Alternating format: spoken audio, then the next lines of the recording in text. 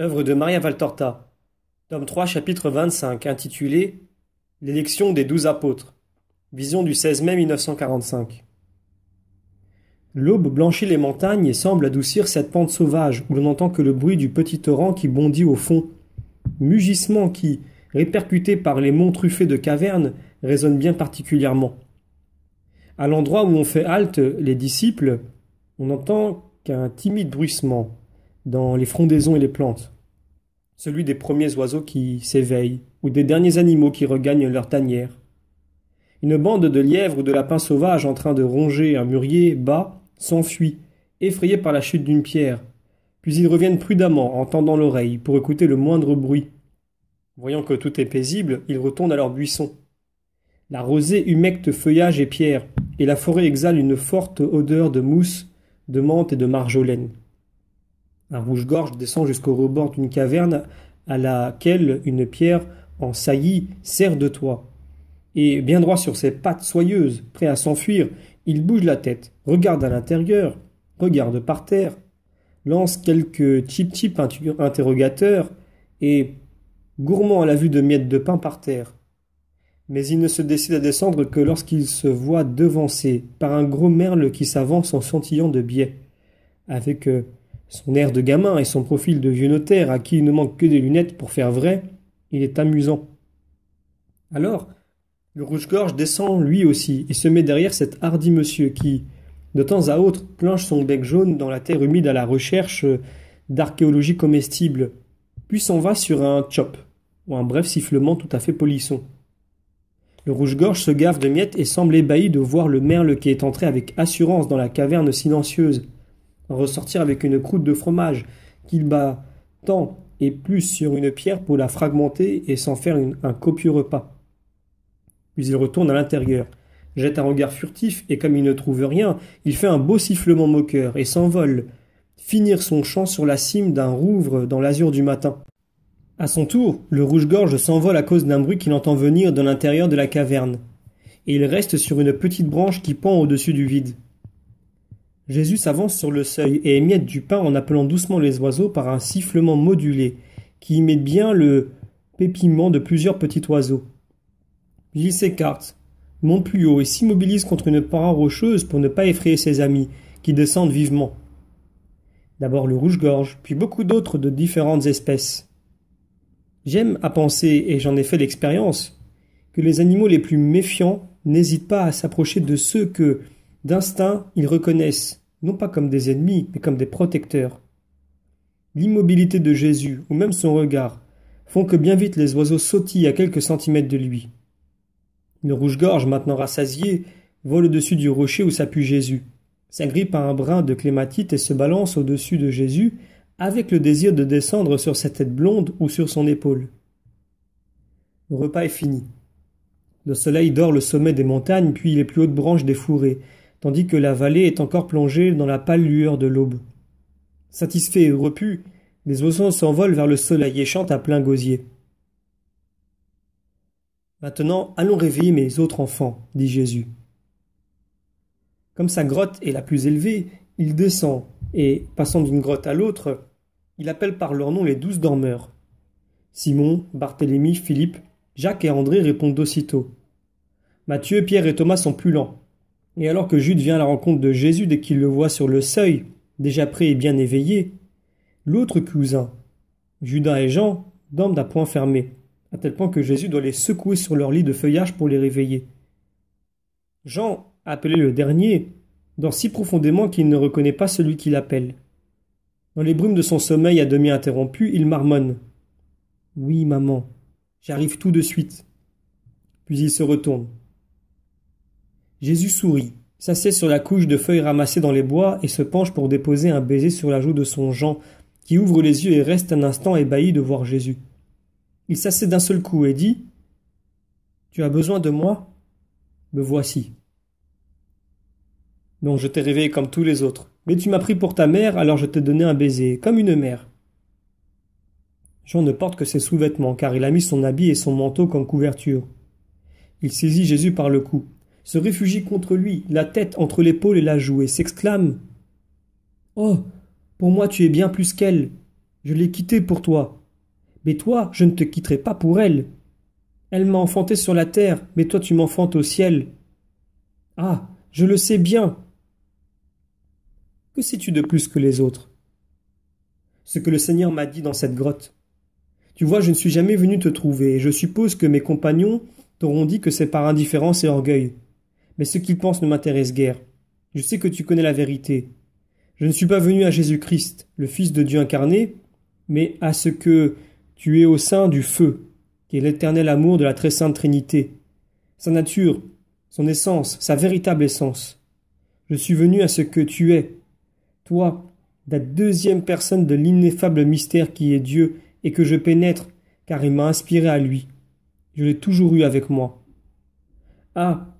Je ne saurais redire tout ce que j'ai compris dans cette grotte sombre, noire, qui est devenue pour moi pleine de lumière, dans cette froide caverne où j'ai été brûlé d'un feu invisible, mais qui est descendu au plus profond de mon être, et l'a enflammé d'un doux martyr.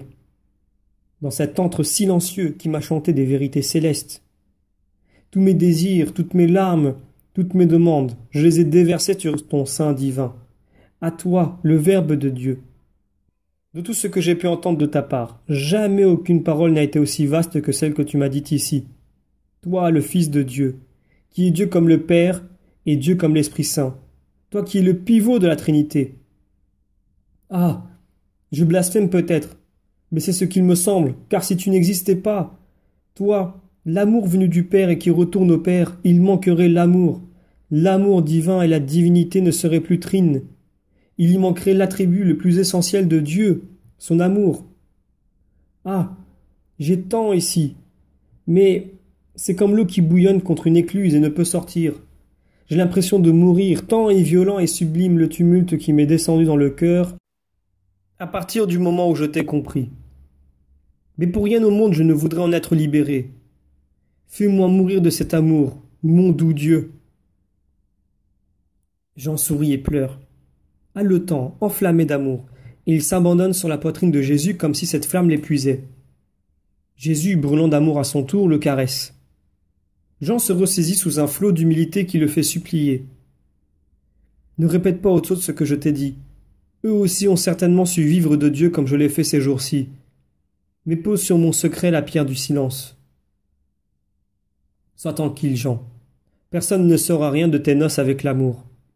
Habille-toi et viens, nous devons partir. Jésus sort sur le sentier où les autres se trouvent déjà. Leurs visages paraissent plus vénérables, plus recueillis, les plus âgés ressemblent à des patriarches, les jeunes ont quelque chose de plus mûr, de plus digne, ce qu'auparavant leur jeunesse dissimulait. Judas regarde Jésus avec un timide sourire sur un visage marqué par les larmes. En passant, Jésus lui fait une caresse. Pierre ne parle pas. C'est si étrange chez lui que cela étonne plus que tout autre changement. Il regarde attentivement Jésus, mais avec une dignité nouvelle qui paraît lui agrandir le front aux tempes un peu dégarni, et rendre plus sévère son regard, où jusqu'alors brillait toujours une lueur de malice. Jésus l'appelle à venir, auprès de lui, et le tient tout proche en attendant Jean qui sort finalement. Je ne saurais dire si son voyage est plus pâle ou plus, son visage est plus pâle ou plus rouge. Mais toujours est-il qu'il y brille une flamme qui n'en change pas de couleur, mais est pourtant visible. Tous le regardent. Viens ici près de moi, mon Jean. Et toi aussi, André. Et toi, Jacques, fils de Zébédée.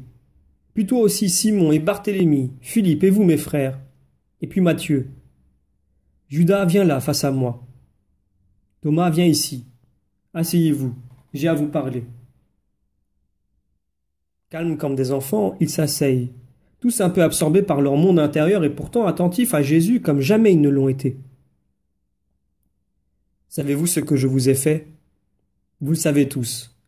Votre âme l'a dit à votre raison. Mais l'âme, la reine de ces derniers jours, a enseigné à la raison deux grandes vertus l'humilité et le silence.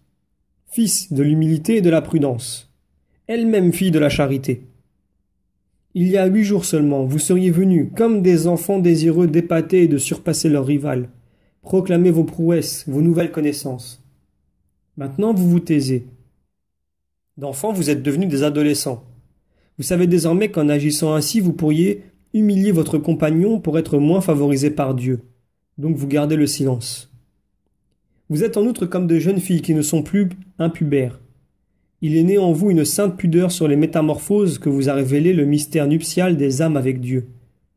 Le premier jour, ces grottes vous ont paru froides, hostiles, repoussantes, et vous les regardez aujourd'hui comme des chambres nuptiales parfumées et lumineuses. C'est là que vous avez connu Dieu. Auparavant, vous saviez quelque chose de lui, mais vous ne le connaissiez pas dans cette intimité qui, de deux êtres, en fait un seul. Il y a parmi vous des hommes qui sont mariés depuis des années, d'autres qui ont eu avec les femmes des rapports fallacieux, d'autres encore qui, pour diverses raisons, sont chastes. Mais les chastes savent ce qu'est l'amour parfait autant que ceux qui sont mariés.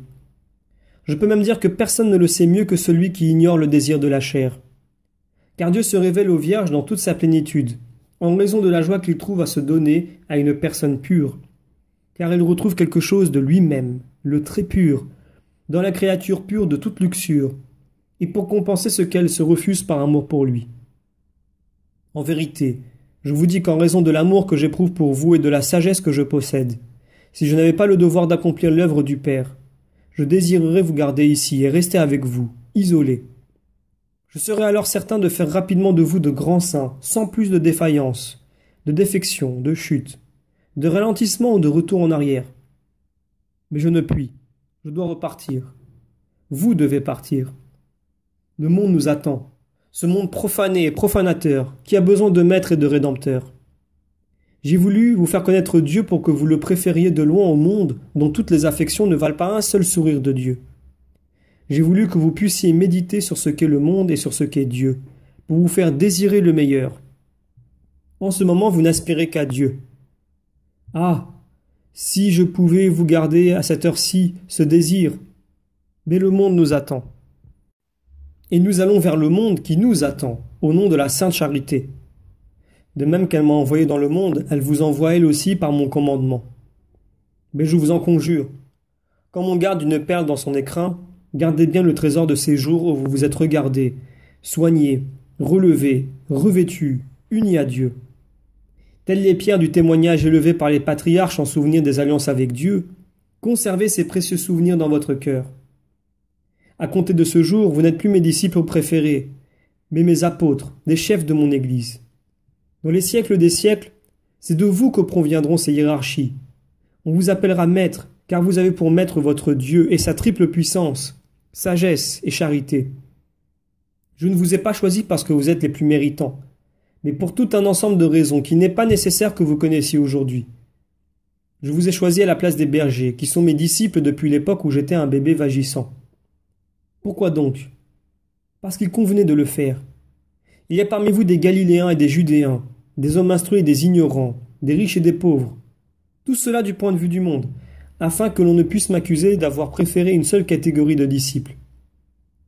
Mais vous ne suffirez pas pour tout le travail à accomplir, ni maintenant ni plus tard.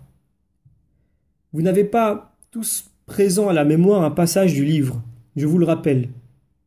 Au deuxième livre des Paralipomènes, au chapitre 29, il est raconté comment Ézéchias, roi de Juda, fit purifier le temple. Après cette purification, il fit faire des sacrifices pour les péchés, pour le royaume, pour le sanctuaire, et pour Juda. Après quoi commença l'offrande individuelle. Mais quand les prêtres ne suffisaient pas pour les immolations, on appela à l'aide les Lévites, consacrés par un rite plus court que les prêtres. C'est ce que je ferai. Vous êtes les prêtres que moi, le prêtre éternel, j'ai longuement et soigneusement préparé. Mais vous ne suffisez pas à la tâche. Toujours plus vaste, des immolations individuelles à leur Seigneur Dieu. C'est pourquoi je vous associe ceux qui restent disciples, ceux qui attendent au pied de la montagne, ceux qui sont déjà un peu plus élevés, ceux qui sont répandus sur la terre d'Israël et seront plus tard disséminés aux quatre coins du monde il leur sera attribué des fonctions de même importance, car si la mission est unique, leur placement aux yeux du monde sera différent. Mais pas aux yeux de Dieu auprès de qui réside la justice. Ainsi le disciple obscur, ignoré des apôtres et de ses confrères, qui vivra saintement en conduisant des âmes à Dieu, sera plus grand que l'apôtre renommé, connu, qui n'aura d'apôtre que le nom et rabaissera sa dignité apostolique en poursuivant des buts humains. La tâche des apôtres et des disciples sera toujours celle des prêtres et des lévites d'Ézéchias.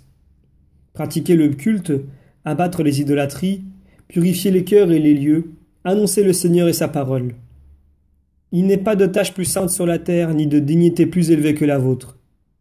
C'est bien pour cette raison que je vous ai dit, écoutez-vous, examinez-vous. Malheur à l'apôtre qui tombe. Il entraîne beaucoup de disciples qui à leur tour entraînent un nombre encore plus grand de fidèles. Sa ruine grossit sans cesse, comme une avalanche qui tombe, ou le cercle qui s'étend sur le lac si l'on lance des pierres au même endroit. Serez-vous tous parfaits? Non. L'esprit qui vous anime actuellement durera-t-il? Non. Le monde lancera ses tentacules pour étrangler votre âme. Ce sera la victoire du monde. Fils de Satan pour les cinq dixièmes, esclave de Satan pour encore trois dixièmes, indifférent à Dieu pour les deux dixièmes qui restent. Cette victoire éteindra la lumière dans le cœur des saints. Défendez-vous tout seul contre vous-même, contre le monde, la chair, le démon. Mais surtout, défendez-vous de vous-même. Soyez en garde, mes enfants, contre l'orgueil, la sensualité, la duplicité, la tiédeur, l'assoupissement spirituel, et encore contre l'avarice. Quand votre moi inférieur élève la voix et pleurniche sous prétexte de cruauté à son endroit, faites-le taire par ces mots.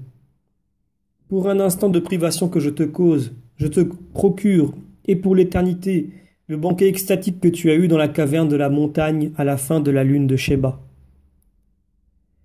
Partons à la, à la rencontre des autres.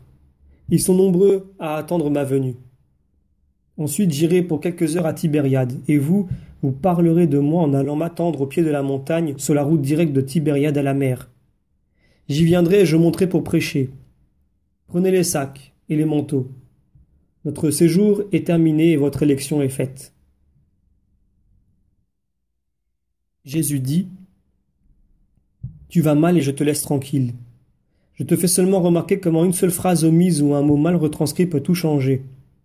Et toi qui écris, tu es vive, et tu peux réparer l'erreur aussitôt.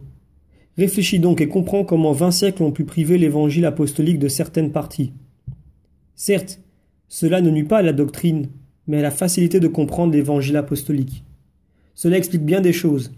Si nous remontons aux origines, nous y découvrons encore une fois une manœuvre du désordre, et l'on attribue au fils du désordre beaucoup d'autres. Tu vois comme il est facile de faire des erreurs de transcription. Petit Jean, sois bon aujourd'hui. Tu es une fleur brisée. Je passerai plus tard moi-même redresser ta tige. Pour aujourd'hui, les larmes de ta blessure me sont nécessaires. Dieu est avec toi.